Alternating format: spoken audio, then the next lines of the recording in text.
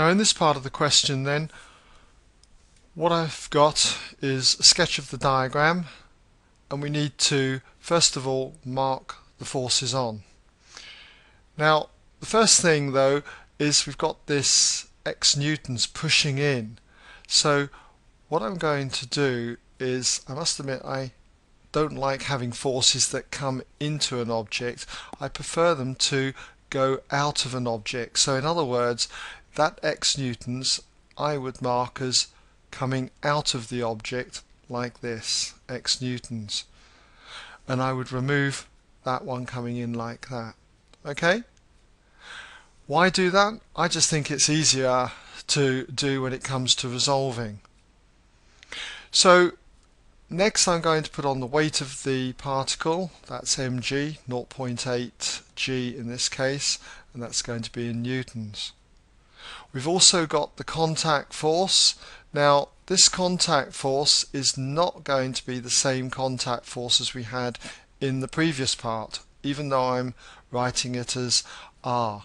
So it's R newtons now. Why isn't it going to be the same? That's because we're pushing into the plane here. So that's going to increase the contact force R compared to what it was before.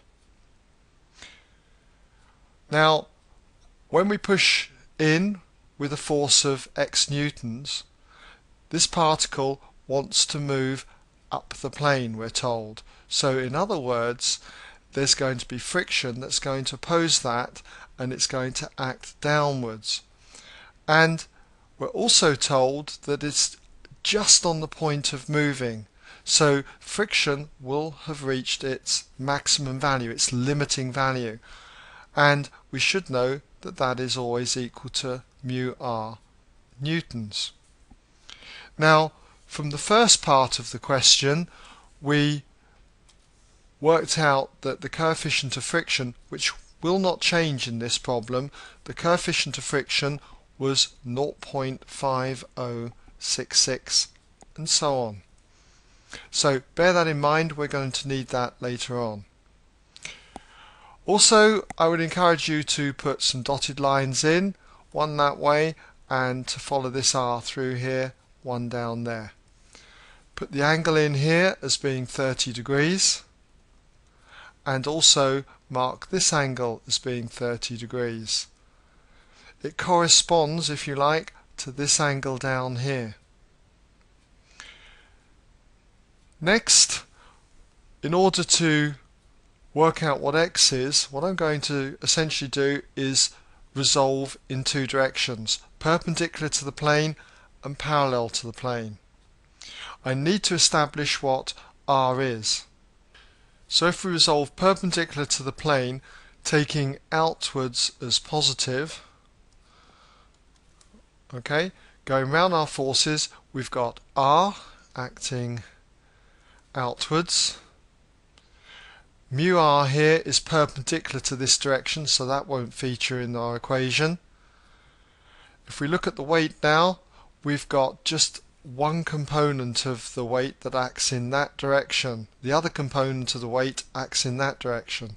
So we need this component of the weight so we've got this angle in here so it's going to be 0.8g cos 30 because the angle is included between the force and the direction we want to resolve in. 0.8g cos 30. It acts in the opposing direction, so it'll be minus 0.8g cosine 30 degrees. Moving on to the force of x newtons, that can be split into two components, one in that direction and one in this direction we only want the one in this direction.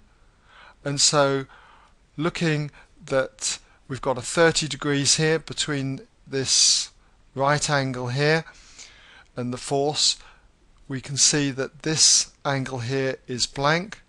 So this will be x sine 30 okay? It excludes the 30 so it's x sine 30 so that'll be minus x sine 30 degrees.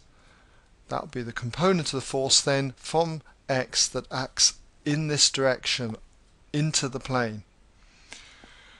This is the resultant force then acting on the particle. It's in equilibrium, so that resultant force must equal zero. So we can rearrange this equation to make R the subject.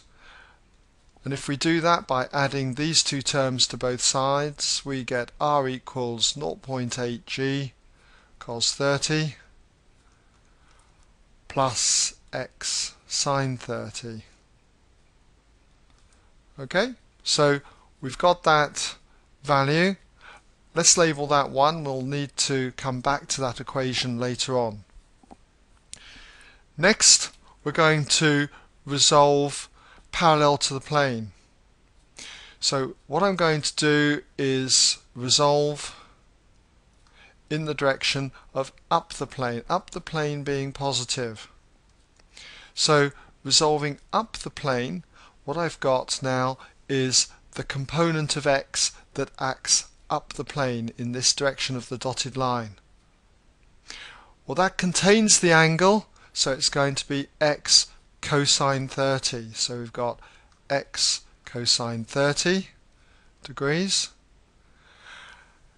Then we've got r but r is perpendicular to the plane so that won't come into this equation.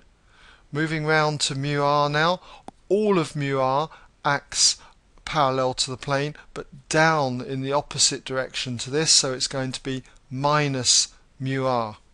So minus mu times r and then we move on to the weight and the weight can be split into two components one in this direction and one down the plane.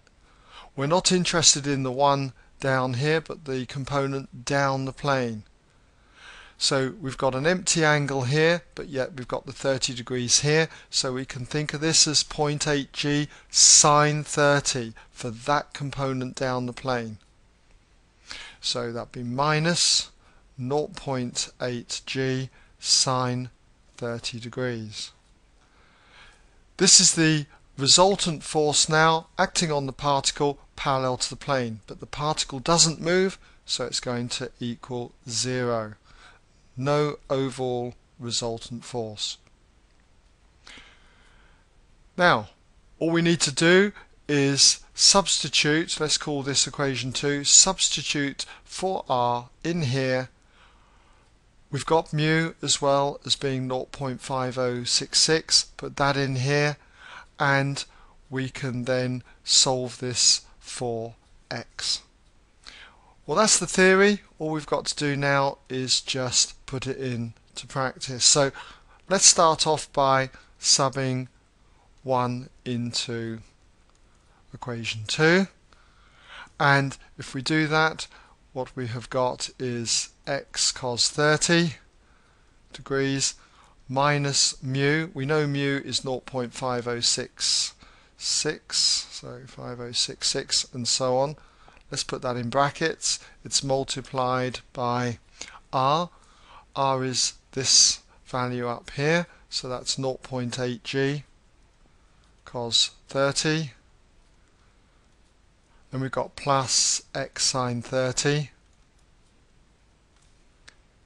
So that's minus mu r, that's that term. Now we've just got this term to write in, minus 0.8g sine 30, and that equals 0.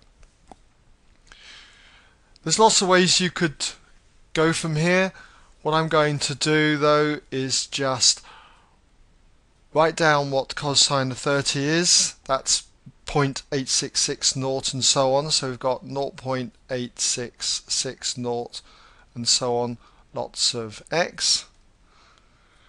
Then for this one, I'm going to expand this bracket, multiply 0.5066 with 0.8g cos 30. If you do that on a calculator, what you get is minus 3.44. Then I'm going to do minus 0.5066 multiplied by plus x sine 30. So that's going to be a minus number, and it turns to, out to be 0.2533 and so on and that's x. Then we've got this term on the end which if you do that on your calculator taking g to be 9.8 you end up with minus 3.92 and that equals 0. Group the x terms together and group these two constants together and what you should find you get is 0.6126 and so on x and if you subtract those two from one another you end up with minus 7.36 and that equals 0. So if we add 7.36 to both sides and divide by 0.6126 and so on we'll get the value of x. So x is equal to 7.36 all divided by 0.6126 and so on. And if you work that out, what you should find you get is 12.012 and so on.